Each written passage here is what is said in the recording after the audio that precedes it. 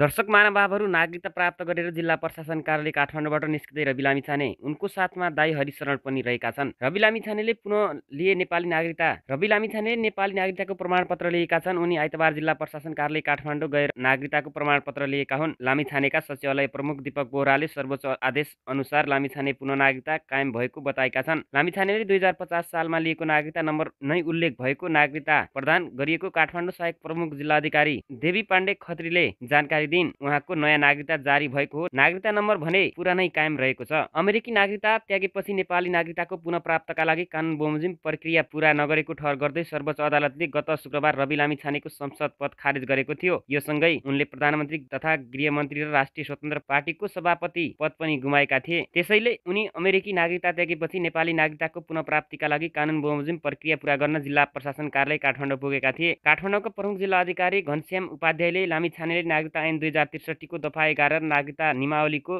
नियम एघार बमोजिम कागजात पेश गरेपछि नागरिकता प्राप्त गरिएको बताएका छन्।